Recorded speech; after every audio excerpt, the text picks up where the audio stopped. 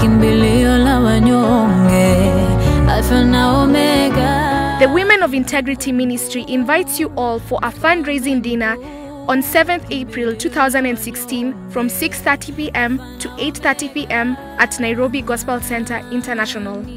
The aim of the fundraising is to enable as many women to be part of the 9th Women of Integrity Conference in August. The guest speaker will be Mrs. Taiwo Akinyemi, wife of Dr. Wale Akinyemi, CEO of Power Talks Limited, that is both a corporate and personal development consulting firm in Kenya. The cost of this dinner is only 900 Kenyan shillings per person. Cards are available outside the tent at the registration desk.